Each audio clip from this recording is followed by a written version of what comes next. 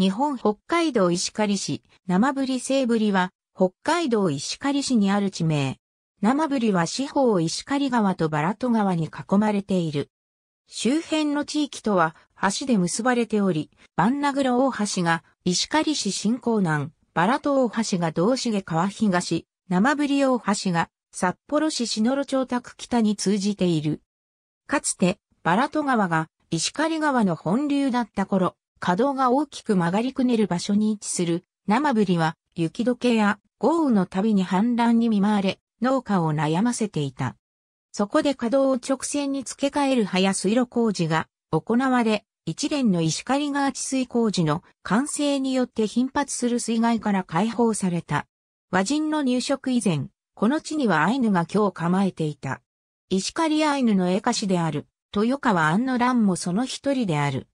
1871年5月、旧米沢藩士の玉木拓造によって引率された宮城県と山形県の移民29個が入植する。彼らは玉木団体と呼ばれ、安野蘭の助けを借りながら開拓に着手した。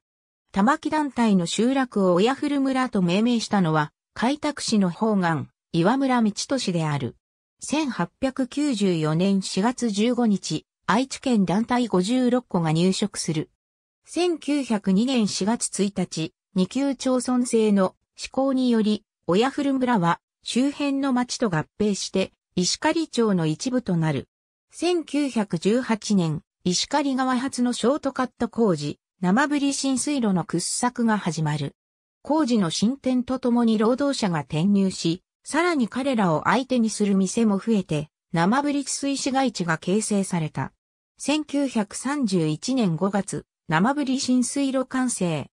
その後も堤防工事が続けられたが、1939年にすべての工程が完了すると人々が去り、市街地は跡形もなく消えた。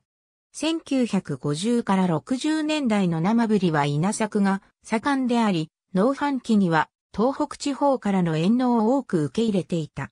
しかし1970年になると米の生産調整が始まり、農作業の機械化による省力化も相まって東北からの出稼ぎ労働者を頼むことはなくなった。親古村に関するカテゴリー。ありがとうございます。